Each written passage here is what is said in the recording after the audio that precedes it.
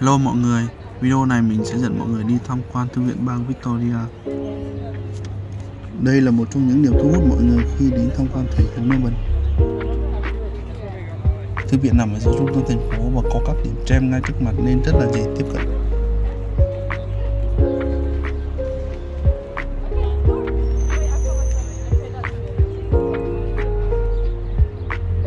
Theo mình tìm hiểu thì thư viện này thành lập năm 1854 là thư viện lâu đời nhất của Úc và một trong những thư viện miễn phí đầu tiên ở trên thế giới.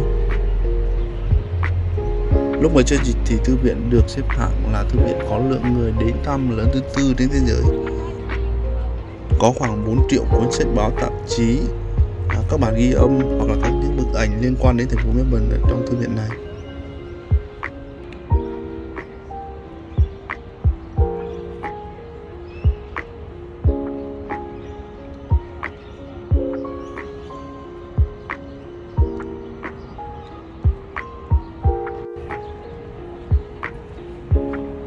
Theo ý kiến riêng của mình thì điểm thu hút của thư viện là kiến trúc phía bên, bên ngoài và có một phòng đọc à, hình ngôi sao. Học sinh và sinh viên trong thành phố Melbourne thì đến đây tìm kiếm thông tin hoặc là những dữ liệu về việc học của mình. Bên trong thì có máy tính, wifi miễn phí, không gian rất là yên tĩnh. À, theo mình tìm hiểu thì có khoảng hai phòng đọc lớn và có những phòng đọc nhỏ khác ngoài ra thì có những phòng trưng bày tranh, trưng bày ảnh. Bạn có thể dùng máy tính rồi tìm vị trí sách ở đâu, sau đấy là bạn nốt lại và nhờ nhân viên hỏi xem là nó nằm ở cái phòng nào. Mặc dù là thư viện miễn phí nhưng mà mình không được phép mượn mang về. Nhưng mà có một số lượng sách nhất định là mình có thể được đọc online. Điều này thì hơi khác một chút so với thư viện của thành phố Melbourne thư viện của thành phố thì cho phép người đọc có thể mượn sách mang về.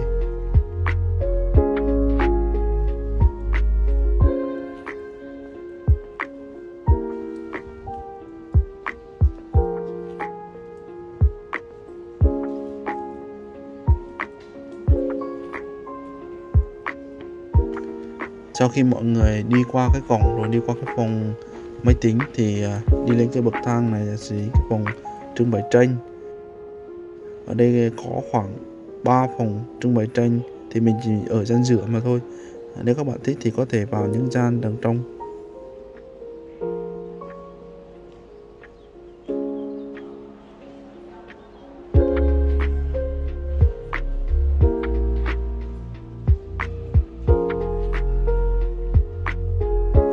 Phòng đọc đầu tiên là phòng đọc Redmond Barry Reading Room.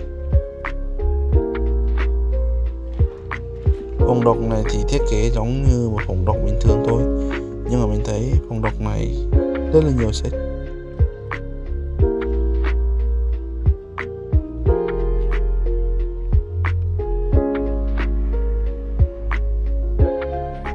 và phòng đọc tiếp theo là phòng đọc La Reading Room.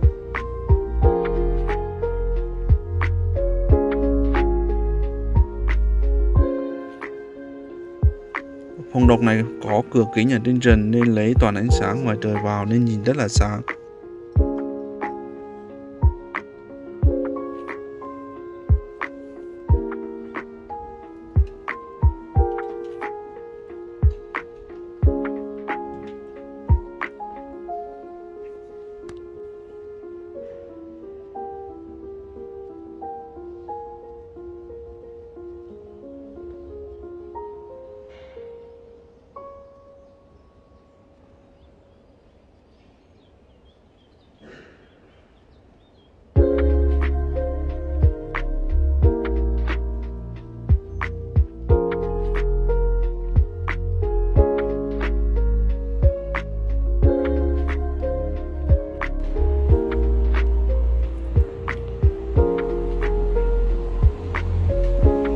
Thư viện cũng là nơi mọi người hay gặp gỡ nhau, nên à, ngày nào mình thấy ở đây cũng đông cả.